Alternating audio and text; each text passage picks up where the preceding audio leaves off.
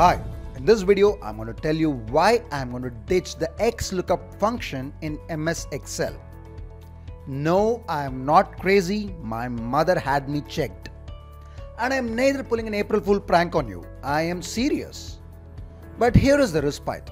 I'm going to ditch it only for approximate matches. And let me show you why. See, I've got a table with stock prices downloaded. I've got another table with 10,000 values for dates and it is all dynamic arrays. I'm going to XLOOKUP to pull the prices into this table.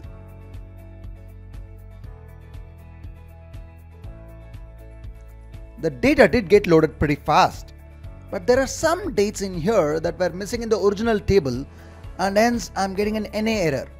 So let me try to do an approximate match for the next lower item and press enter. And let me also start the clock. Tick tock, tick tock, tock, tick tock. At last we are done. Now it's a large data, I agree. But instead of XLOOKUP, let me try it with the erstwhile lookup function.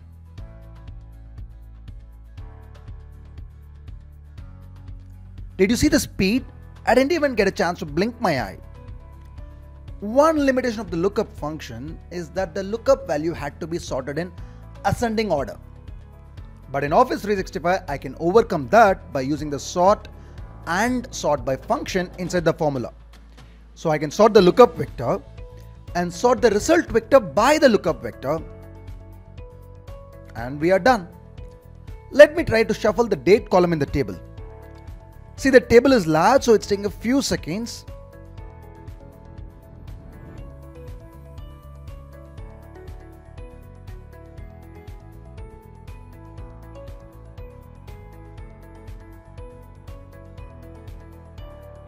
Now it's shuffled and you do notice that the lookup function results are just the same as what XLOOKUP gave. But well XLOOKUP can also match for the next larger item. Lookup function can only do approximate match for the lower end. So what can we do if we need to approximate on the upper end? This can be done by using a combination of index and match. So I'm going to sort the vectors in the descending order. And once that is done, we can use the match function to do an approximate match for the next higher item. Then we can pull the result with the index function. It causes a small lag, but it's definitely faster than the XLOOKUP function that I'm going to try again now. Let's all pray to God to give us all the patience we need. And if you're an atheist, just count the sheeps for a while Let's count them and pray. Oh.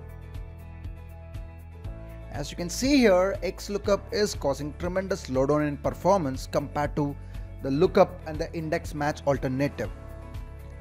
But do we need to write such a lengthy code if you want to avoid the XLOOKUP?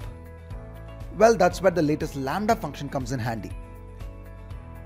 See, I have created a few functions like LLOOKUP and ULOOKUP that looks for approximate match for the lower and upper end respectively. So all I'm going to do is type equals LLOOKUP, lookup value, comma, lookup vector, comma, result vector, and it's done. Similarly, I can use ULOOKUP with almost the same syntax to look up for approximate match on the upper end. And again, we are done.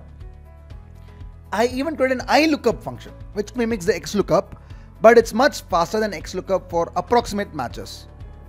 But it is a bit slow when it comes to exact matches. So we can use XLOOKUP for exact matches.